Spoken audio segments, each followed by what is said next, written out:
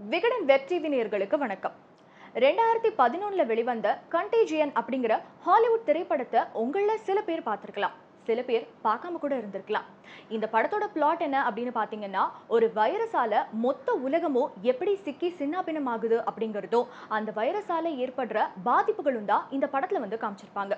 கிட்டத்தட்ட அதே நிலைமை தான் இப்போ கொரோனா வைரஸ் பாதிப்பால நிகழ்ந்துகிட்டு இருக்கு அப்படின்னே சொல்லலாம். கொரோனா வைரஸால உயிரிழந்தவங்களுடைய எண்ணிக்கை பார்த்தோம்னா ஜனவரி இருபத்தி ஒன்பது காலை நிலவரப்படி நூற்றி முப்பத்தி இரண்டு வந்து தொட்டிருக்கு. இந்த வைரஸ் உலகம் முழுக்க இப்போ நான்காயிரத்தி ஐநூறு பேருக்கு பரவி இருக்கிறதா சொல்றாங்க. அது மட்டும் கிடையாது இந்த வைரஸ் தொடங்கிய இடமான சீனாவில் இருக்கக்கூடிய உகான் நகரம் மொத்தமாவே முடக்கப்பட்டிருக்கு. அண்ட் அது மட்டும் இல்லாம மொத்தமா பதினேழு நாடுகள்ல இந்த வைரஸ் தாக்குதல் இப்ப வரைக்கும் கண்டறியப்பட்டிருக்கு. கொரோனா வைரஸ் அப்படின்னா என்ன? இது எப்படி பரவுச்சு? சீனாவிலிருந்து இது எப்படி தொடங்குச்சு? அப்படிங்கிற பல கேள்விகளுக்கான விடையை தான் இந்த வீடியோவில் நாம் பார்க்க போகிறோம்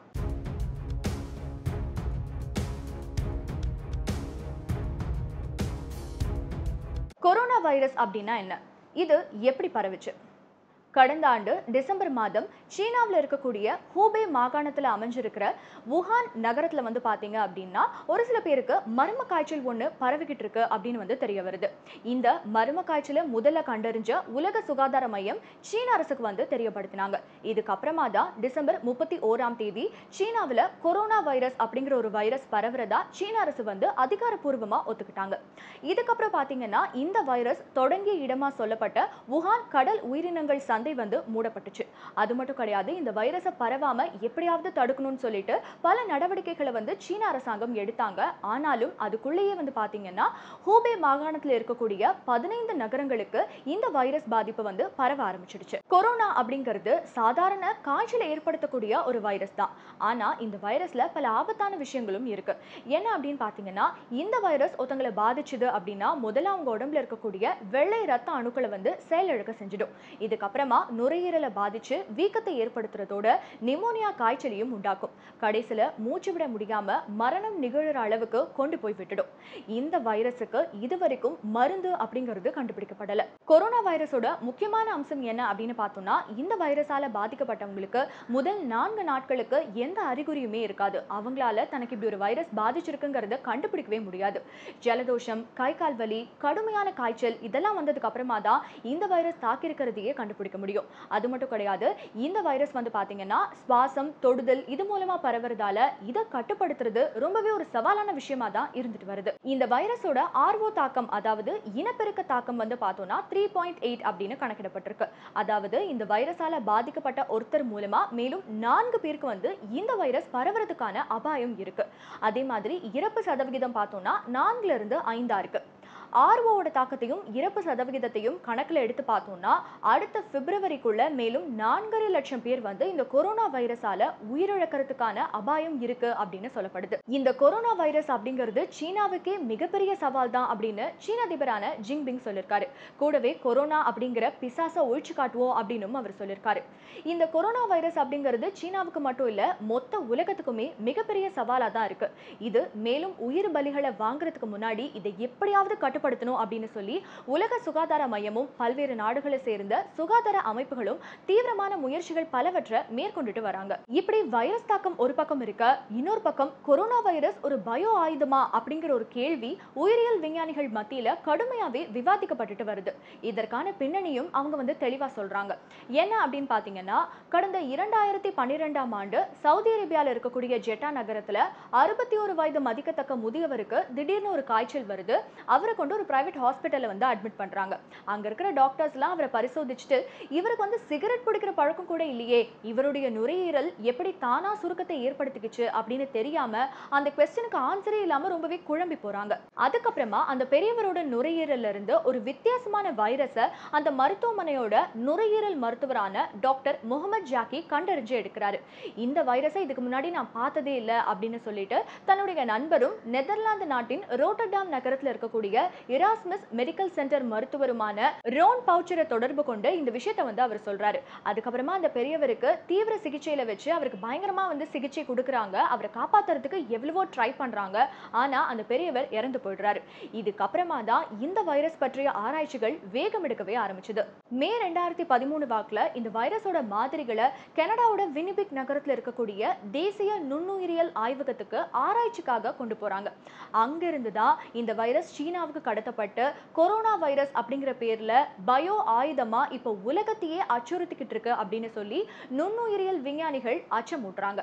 அதாவது இந்த வைரஸ் எப்படி சீனாவுக்கு கடத்தப்பட்டுச்சு அப்படிங்கிற ஒரு கேள்வி இந்த இடத்துல எழலாம். கனடாவோட வினிபிக் நகரத்தில் இருக்கக்கூடிய தேசிய நுண்ணுயிரியல் ஆய்வகமான இந்த ஒரு ஆய்வகம் வந்து எல்லா இடத்துலையும் இருக்கக்கூடிய ஆய்வகங்கள் மாதிரி கிடையாது. ஏன்னு பார்த்தோம்னா இது வந்து பயோ சேஃப்டி லெவல் ஃபோர் ஆய்வகம் அப்படின்னு சொல்லுவாங்க. லெவல் ஃபோர் ஆய்வகத்தில் தான் மிக மிக ஆபத்தான வைரஸுகள் எல்லாம் வந்து ஆய்வு பண்ணுவாங்க. இந்தியாவில் கூட பார்த்தீங்கன்னா ஹைதராபாத் பூனே போபால் இந்த மாதிரி இடங்கள்லாம் லெவல் ஃபோர் ஆய்வகம் இருக்கு. சரி விஷயத்துக்கு வருவோம். கனடாவில் ஆய்வு செய்யப்பட்ட ஒரு வைரஸ் சீனாவுக்கு எப்படி நாடு கடத்தப்பட்டுச்சு? சியாங் ஓகியூ சீனாவோட தியான்ஜிங் நகரத்தில் இருக்கக்கூடிய இந்த பெண்மணி தான் கொரோனா வைரஸை கனடாவிலிருந்து சீனாவுக்கு கடத்தியதா குற்றம் சாட்டப்படுது. ஆயிரத்தி தொள்ளாயிரத்தி எண்பத்தி ஐந்தாம் ஆண்டு ஹெபே மருத்துவ பல்கலைக்கழகத்திலிருந்து டாக்டர் பட்டம் பெற்றவங்க தான் இவங்க.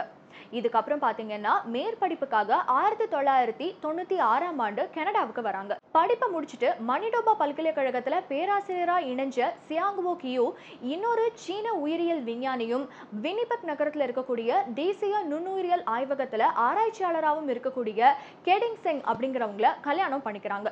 இதன் மூலமா ரெண்டாயிரத்தி ஆறாம் ஆண்டிலிருந்து தேசிய நுண்ணுயிரியல் ஆய்வகத்தில் ஆபத்தான வைரஸ்களை ஆராய்ச்சி பண்ற வாய்ப்பு சியாங்குவோ கியூக்கு வந்து கிடைக்குது. கூடவே தன்னுடைய ஆராய்ச்சி உதவிக்காக அப்படின்னு சொல்லிட்டு பல்வேறு சீன மாணவர்களை அங்க கொண்டு வந்து சேர்த்தும் விடுறாங்க சியாங் ஓகியூ இப்படி போயிட்டு இருக்கிறப்போ மார்ச் ரெண்டாயிரத்தி பத்தொன்பதுல அந்த தேசிய நுண்ணுயிரியல் ஆய்வகத்துல இருந்து ஒரு மர்ம பார்சல் உஹான் நகரத்தோட தேசிய உயிர் பாதுகாப்பு ஆய்வகத்துக்கு போயிருக்கு அப்படின்னு சொல்லி கனடாவோட உளவுத்துறை வந்து கண்டுபிடிக்கிறாங்க. இது சம்பந்தமா விசாரிக்கிறப்ப தான் ரோட்டடாம் நகரத்துல இருந்து ஆய்வுக்காக கனடாவுக்கு கொண்டு வரப்பட்ட வைரஸை சீனாவோட வுஹான் நகரத்துக்கு சியாங்குவோக்கியோ ரகசியமாக அமுச்சு வச்சிருக்காங்க அப்படின்னு சொல்லி கண்டறியப்படுது. தொடர்ச்சியாக ஜூன் ரெண்டாயிரத்தி பத்தொன்பதில் சியாங்குவோக்கியோ அவங்களுடைய கணவரான கெடின் சிங் அப்புறமா அங்கே வேலை செஞ்ச மற்ற சீன மாணவர்கள் அப்படின்னு எல்லாரையுமே தேசிய நுண்ணுயிரியல் ஆய்வகத்திலிருந்து வெளியேற்றுறாங்க. இந்த வைரஸ் திருட்டு சம்பந்தப்பட்ட விசாரணை ஒரு பக்கம் ரொம்ப தீவிரமா போயிட்டு இருந்தாலும் இன்னொரு பக்கம் இந்த வைரஸை வச்சு சீனா பயோ ஆயுதம் தயாரிக்கிறதா கனடாவோட உளவுத்துறை கண்டறிஞ்சு உலக சுகாதார அமைப்பை உஷார்படுத்துது. ஏற்கனவே சொன்ன மாதிரி லெவல் ஃபோர் ஆய்வகம் அப்படிங்கிறது ரொம்ப ரொம்ப ஆபத்தான வைரஸ்களை ஆய்வு செய்யறதுக்கான ஒரு இடம் தான் சீனாவோட வுஹான் நகரத்தில் இருக்கக்கூடிய தேசிய உயிர் பாதுகாப்பு ஆய்வகம் வந்து பார்த்தீங்கன்னா லெவல் ஃபோர் ஆய்வகம் தான் இங்க கொண்டு வரப்பட்ட கனடா வைரஸ் ஆய்வுக்கு உட்படுத்தப்பட்டு கொரோனா வைரஸா அதாவது பயோ ஆயுதமா உருவாக்கப்பட்டிருக்கு அப்படின்னு சொல்லப்படுது. கிட்டத்தட்ட நான்கு மாதங்களா ஆராய்ச்சியில் வைக்கப்பட்டிருந்த இந்த வைரஸ் அந்த ஆய்வகத்தில் வேலை பார்க்குற யார் மூலமாகவோ நவம்பர் இறுதியில வெளியேறி பரவ ஆரம்பிச்சிடுச்சு அப்படின்னு தெரிய வருது. டிசம்பர் ஒன்றாம் தேதியே அறுபது வயது மதிக்கத்தக்க முதியவர் ஒருத்தர் உஹான் நகரத்துல இருக்கக்கூடிய அரசு மருத்துவமனையில இந்த வைரஸ் பாதிப்பால இறந்து போறாரு. உஹானோட லெவல் ஃபோர் ஆய்வகத்தை உளவு பார்த்துட்டு இருக்கிற அமெரிக்க உளவுத்துறையான சிஐஏ இந்த விஷயத்தை கண்டறிஞ்சு உலக சுகாதார மையத்தை வந்து அலர்ட் பண்றாங்க. உலக சுகாதார மையம் சீன அரசு கிட்ட இது சம்பந்தமான கேள்வியை அப்போ எழுப்புறாங்க.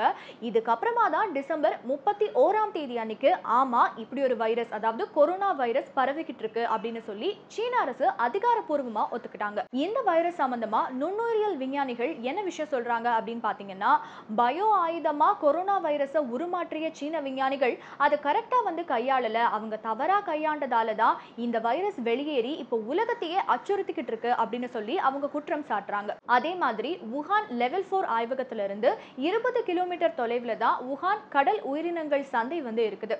இந்த வைரஸ் ரொம்ப வேகமா பரவுறதுக்கு இந்த சந்தை சுகாதாரமே இல்லாம இருக்கிறதும் ஒரு காரணம் அப்படின்னு சொல்லி சொல்லப்படுது. மொத்தத்துல அடுத்த இருபது நாட்களுக்குள்ள இந்த வைரஸ் பரவுறதை எப்படியாவது தடுக்கல அப்படின்னா அடுத்த ஒரு வருஷத்துக்குள்ள உலக மக்கள் தொகையில பத்து சதவிகிதத்தை இந்த கொரோனா வைரஸ் காவு வாங்கிடும் அப்படின்னு சொல்லி விஞ்ஞானிகள்லாம் ஒரு பக்கம் அதிர்ச்சி விட்டுறாங்க இந்தியாவை பொறுத்த வரைக்கும் இந்த வைரஸ் இன்னும் யாருக்கும் பரவல அப்படிங்கிறது நல்ல செய்தி தான் ஆனா இந்த வைரஸ்க்கான முன்னெச்சரிக்கை நடவடிக்கைகளையும் ஒருவேளை இந்த வைரஸ் யாருக்காவது பாதிச்சதுன்னா அவங்களுக்கு எந்த விதமான ட்ரீட்மெண்ட்ஸ் கொடுக்கணும் அப்படிங்கிறதுலையும் இந்தியா முனைப்பா இருக்கணும் மக்களை பாதுகாக்கணும் அப்படிங்கிறது தான் மக்களுடைய எதிர்பார்ப்பாகவும் எண்ணமாகவும் இருக்கு. மேலும் இதே மாதிரி உலக செய்திகள் சம்பந்தமான வீடியோக்களை பார்க்கறதுக்கு மறக்காம விகடன் வெப் டிவியை சப்ஸ்கிரைப் பண்ணுங்க.